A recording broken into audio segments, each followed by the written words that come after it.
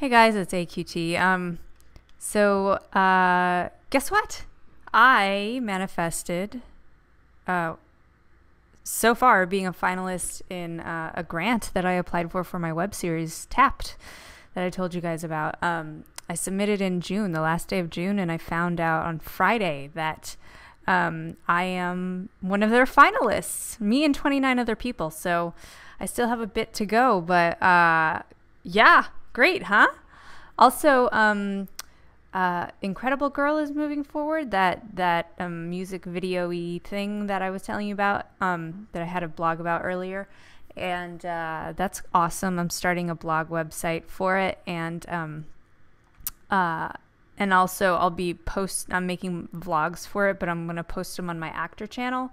Uh, so I'll I'll I'll post a few of them or bits of them here, but I don't want to kind of cross pollinate in that area.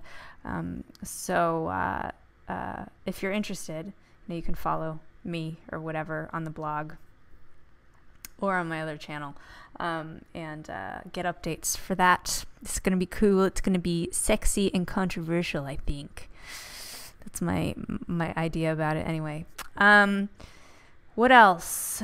Uh, oh, guess what? I saw Leonardo DiCaprio yesterday, which is um, another fun manifestation sort of story, I guess, because uh, uh, when I was a kid, I loved him. Like, he was my heartthrob. I remember being 11 years old and, like, uh, just watching Growing Pains, not because I liked the show, but because I thought Leonardo DiCaprio was so cute.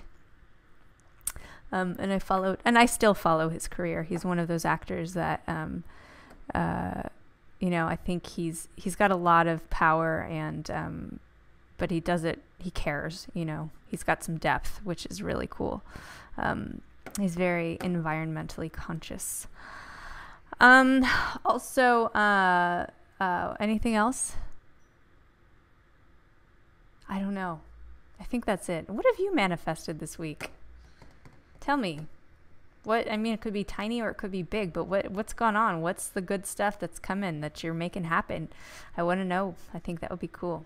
Oh, P.S. Also, um, anybody know anything about vertigo? Why it happens and how to get rid of it? Because it's starting to come up for me periodically. Somebody said something about a vitamin B complex deficiency, which could be the case, um, but I don't know that for 100 100%. I suppose I could go look it up, and I will. uh, oh man, I'm all over the place tonight. Anyway, manifestations. Tell me how what you're manifesting.